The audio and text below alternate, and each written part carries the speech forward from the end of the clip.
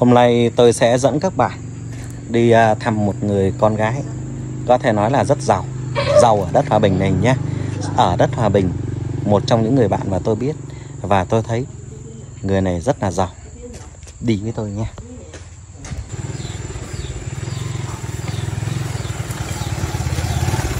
Rồi, hai mẹ con làm gì đây? Con nuôi nhiều gà, nuôi nhiều lợn không mà? Giờ này vẫn còn bán lợn mái đấy. Để chưa? Để chưa? Để cho bác Để bác ở nhà uống đi.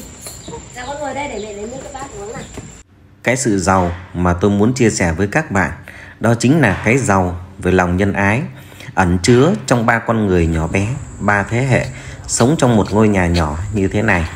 Một mẹ già đang bị bệnh một người con gái trẻ đang à, nuôi một đứa con thơ em là người mà tôi đã biết trong những chuyến đồng hành, đi thiện nguyện, gom quần áo cũ và tặng quà cho bà con ở vùng cao. Mặc dù cuộc sống rất là khó khăn, nhưng em luôn luôn sẵn lòng cho đi, gom được bao nhiêu thì em chia lại hết cho bà con bấy nhiêu. Chưa bao giờ từng nhận bất cứ một cái gì, làm của riêng mình và còn sẵn lòng bỏ cả tiền túi ra để bù đắp vào những phần quà còn thiếu sót. Nhưng mà cuộc sống của em hiện tại thì lại rất là khó khăn. À bác chào con nha ngoan nha học để đi học rồi hả? Đi học là mẹ đi làm chứ ha. Đấy kho đấy lần à, bé ở dưới hả? Vâng rồi em để ạ. Nhà mình hình như khác khác so với mấy năm trước anh tới đúng không? Vâng nhà em nhà nước hỗ trợ rồi hỗ trợ cho 20 triệu để chị sửa mạnh là làm cái máy tôm này đúng không? Vâng. Thế là bờ lô dư ở trên máy này là đưa ra là có cái sân này. Vâng cũng may à, nhà nước tạo điều kiện cho ha. Làm vậy nó cũng đỡ cái nhà thì cũ, nhưng mà cái này nó đỡ lắm không quá bờ luôn. Vâng đỡ bao đây rồi thăm lợn nhé. Vâng là giờ là ở nhà chăm mấy con gà này mới nuôi lợn dạ vâng em nghỉ công ty lâu chưa? Em nghỉ bốn năm nay. bốn năm này không ai chăm cháu bưởi gì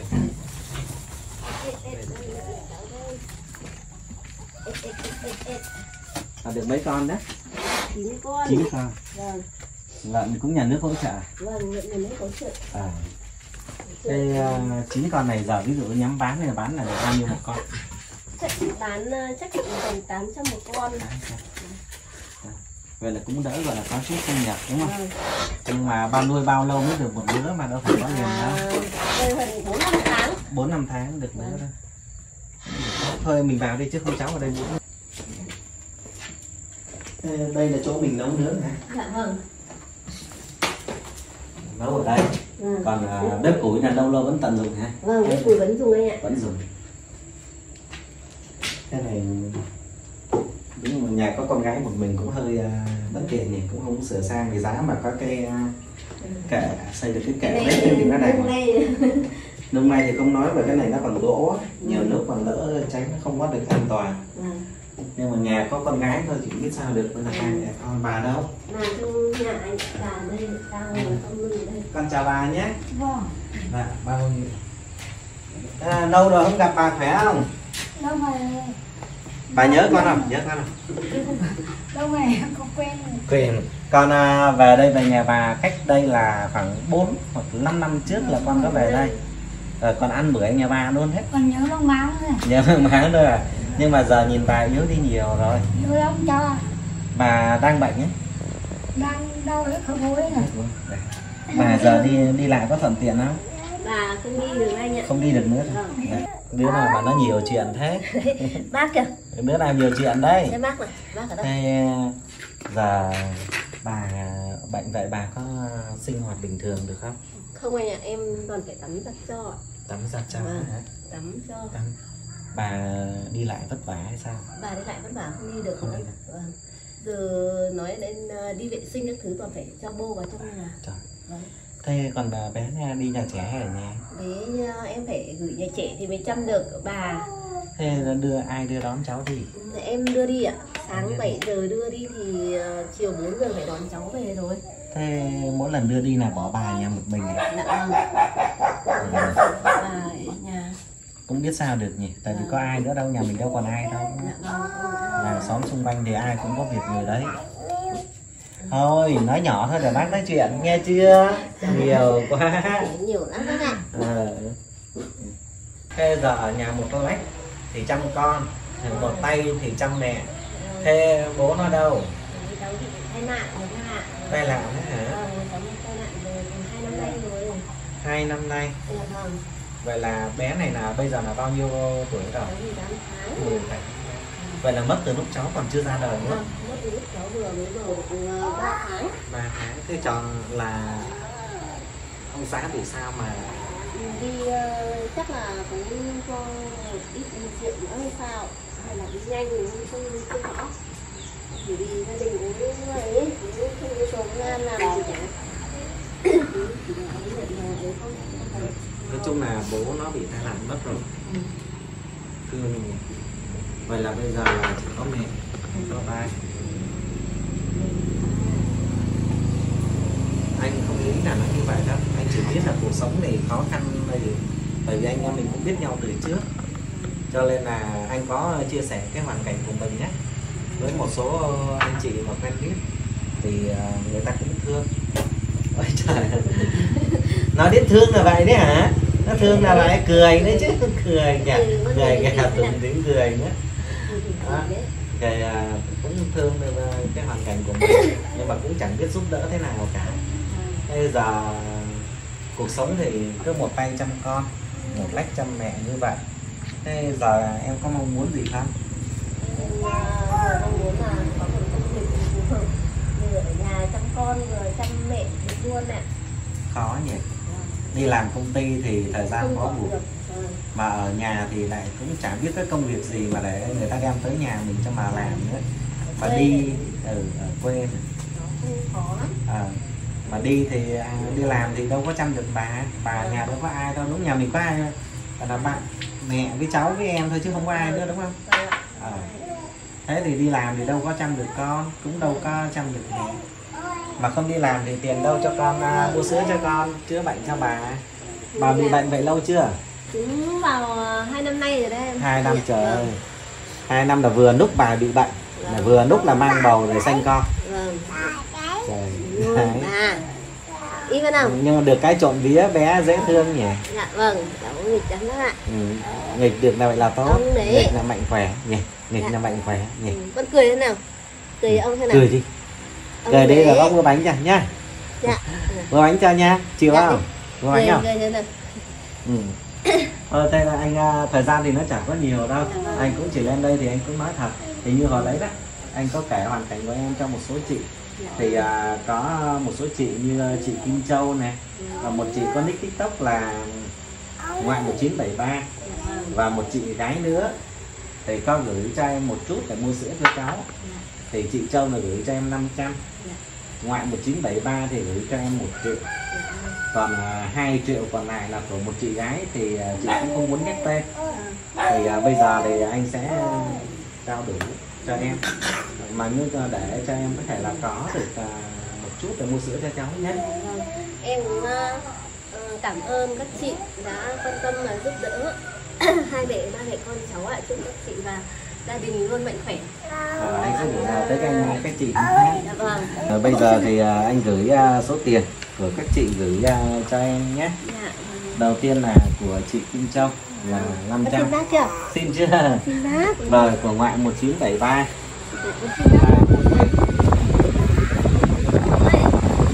Dạ, chị à, à, gái mà chả không muốn muốn nhắc tên là 2 triệu Dạ.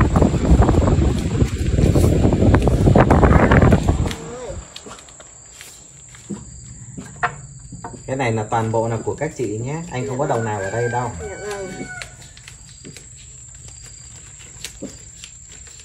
rồi đây là 2 triệu của chị gái Dạ. thì cái này là gửi để à, cho cháu mua sữa và cũng cố gắng là làm sao mà thu xếp à, đi thi cái bằng lái nhé Vâng vâng. rồi có gì thì là mai mốt còn chở cháu ra phố chơi hay đi khám bệnh chữa bệnh xa xa thì còn tự tin mà chạy Dạ vâng. chứ cứ uh, đi ừ, các tập polymer cái cười tươi nhỉ? Vâng con xin bác kìa xin chưa? Con xin bác. Xin. Thôi con xin. Vậy là thôi con xin phép bà nhé. Vâng. tại vì con cũng ở xa đó. Thì ờ, anh xin phép nhé. Lúc nào có thời gian thì ghé lại thăm mẹ con sau. Dạ. giờ bác về nhé. Con chào bác chào bác. Bye bye. Ừ đi về. Bye bye. Bye bye nhá. Vâng. à, chào bác thế nào? Con chào bác đi. Đúng rồi con chào bác đấy con hào ngoan nhá dạ đi. Thì ông phải đi về đấy ông ở với ông ờ, ông ở với ông thiện trí chứ. Thế, thế, thế ông lại đi ra tận ngoài lào cai ông ấy ở à mấy bà? Sao các bà đầu óc các bà cứ làm sao á? Nếu mà bỏ bùa là ông thiện trí ông phải bỏ bùa. Để cho ông minh trí không đi đâu được ông minh trí ông phải ở gần với ông thiện trí thì đó mới là bỏ bùa.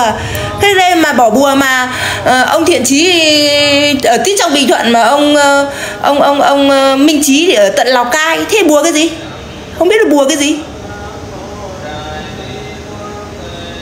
Minh trí đang ở nha trang à? Ừ thế à? Chị mới biết minh trí đang ở nha trang. Đúng rồi đã là bỏ bùa là phải đi theo cái người bỏ bùa mai gà gà, gà không biết gáy mai ta bỏ mẹ bùa đi nhỉ để thầy về đây nhỉ. Cha con mụ hệ già.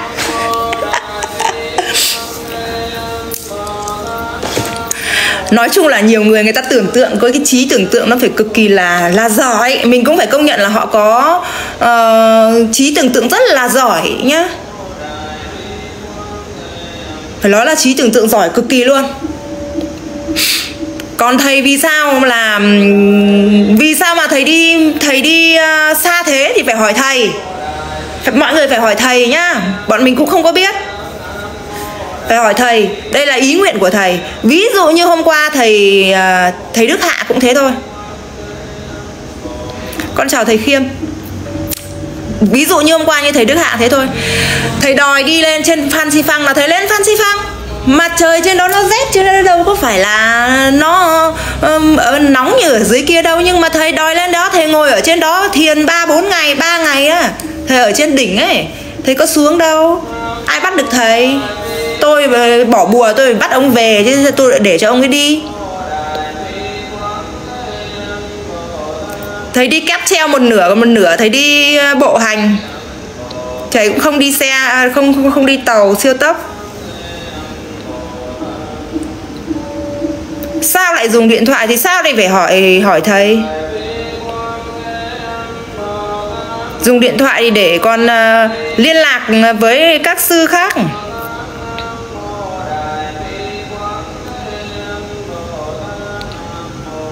Điện thoại để thông minh điện thoại bây giờ nó chỉ là một phương tiện để nghe và gọi thôi. Ngày xưa đức phật không có điện thoại xài. Nếu mà có thì ông cũng đã xài. Ông không có điện thoại nhưng mà ông cũng thường truyền các cái thông tin hay là ví dụ đi về cho đi ngựa hay đi lạc đà hay là con chim á, nuôi đưa thư ấy thì bây giờ cái điện thoại nó cũng thế thôi mà.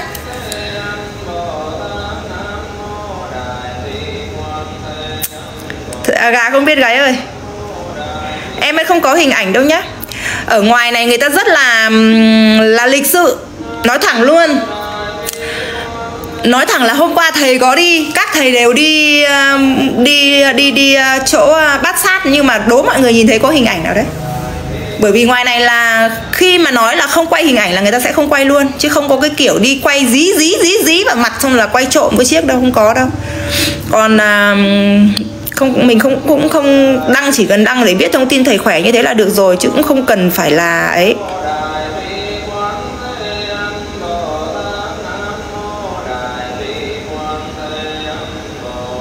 Đúng rồi, chị Huệ ạ, không có cái giới cấm sử dụng điện thoại.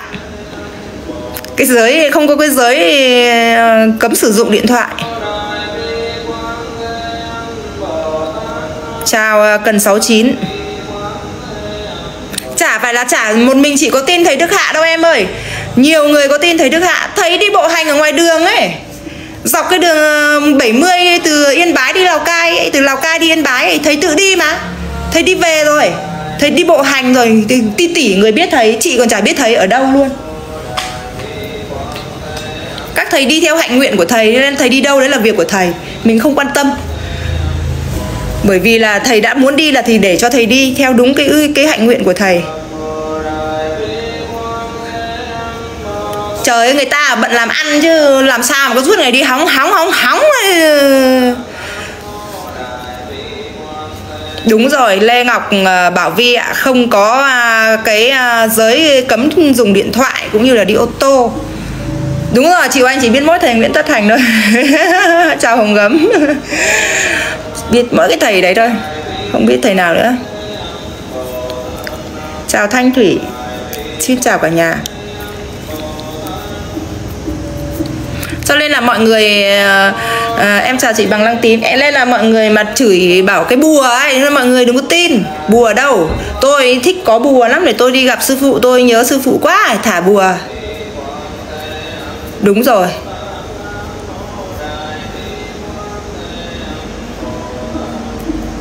Thấy Đức Hạ nhá nếu ai mà ở khu vực từ Lào Cai đi Yên Bái theo đường quốc lộ 7 đi đường Bảo Yên, Lục Yên thì sẽ gặp được thầy Đức Hạ đi bộ hành ở đường. Đấy đi ở đường. Còn lại thầy thầy cũng đi một mình thôi. Còn thầy đi như thế nào thì mình không có biết bởi vì mình cũng có ở gần thầy đâu.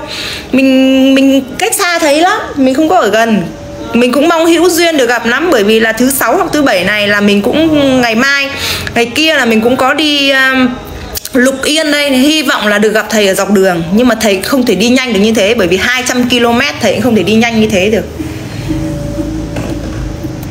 Đi đường ờ, đường quốc lộ 7 đường đường 70 ấy, em đi từ um, Lào Cai xuống um, xuống xuống uh, Bảo Yên á. Xong là đi đường uh, đi xuống Yên Bái á. Đi đường ấy đấy. Ngã ba Khánh Hòa các thứ đấy.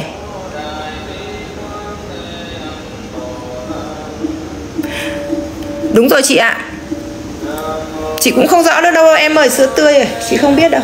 Chị không biết được thầy đi với ai đâu. Chỉ biết là một mình thầy rời ba thầy kia Còn thầy đi với ai thì chị không biết. Chào treo hô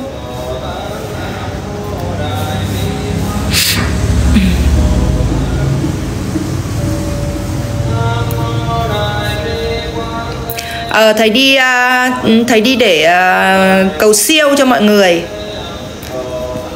có mà qua các thầy đi mà. Nhưng mà ai người ta quan tâm đâu. Ngoài này người ta không có quan tâm không có chụp hình không có uh, uh, uh, câu like câu liếc cái gì cả. Thầy minh thành thế đang ẩn tu nhá. Thầy tâm dũng hôm nay ẩn tu rồi nhá không biết ẩn được bao nhiêu ngày. Em không biết thật. Đúng rồi mỏ mỏ mỏ mỏ đá quý lục yên đấy chị. Dạ, ở trên lục yên biết đâu lại đi lái một phát ở nhà đường viên đá quý.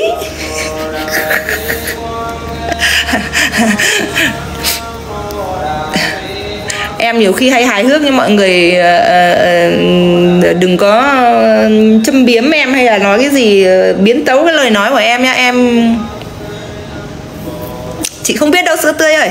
Cái uh, thầy tâm dũng ấy thì các bạn phải hỏi trần nam tv chị không biết mình không ở trong đấy nên không biết như thế nào không quan tâm.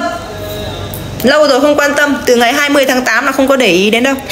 Nên là đừng hỏi mình về thầy Tâm Dũng. Thể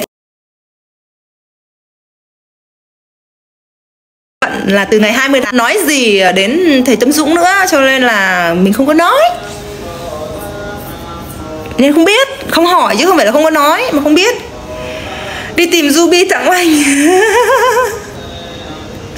idol của chị á, idol của chị vẫn ở nhà thôi. Ăn cơm ngày hai bữa. Đi tìm Ruby tặng oanh. Chào chào tâm nhá. Không biết ông cục kẹo ông gọi cái gì đây, mình từ chối chắc kiểu gì tí ông lại chửi. Ông cục kẹo ông đang ở với lại thầy à, pháp nhẫn à? Hay thầy nào nhỉ? Thầy pháp nhẫn.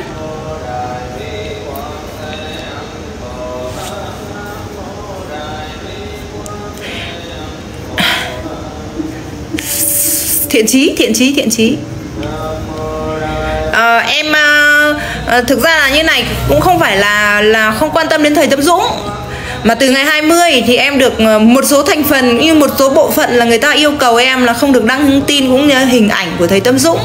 Thế nên là từ ngày đấy là em thôi em không có đăng tin không không có hình ảnh nữa. Không nói chung là em cũng không không quan tâm nữa không để ý còn lại vẫn là thỉnh thoảng vẫn ngó đi qua ờ, lướt qua một phát là thấy các thầy thì em vẫn nhìn. Đấy bị cấm sóng em bị cấm sóng á. Ờ, đúng rồi đấy chị chị Huệ đấy có bà Huệ biết này. Tôi là bị cấm sóng từ ngày 20 tháng 8 về thầy Tâm Dũng. Tôi nói được nói thế thôi mọi người trêu đấy. Nhưng mà thôi để gọi là giữ cho các thầy. Em giữ cho các thầy thôi nên là em không có ừ, tham gia. Với lại thầy cũng có một youtube ở bên đó rồi. Bạn là gì nhỉ? Bạn gì nhỉ? Trần nam tv á mọi người. À, oanh thì cũng chả sợ gì đâu nhưng mà không thích nữa ấy. oanh mà đã không thích thì có mời oanh nhá.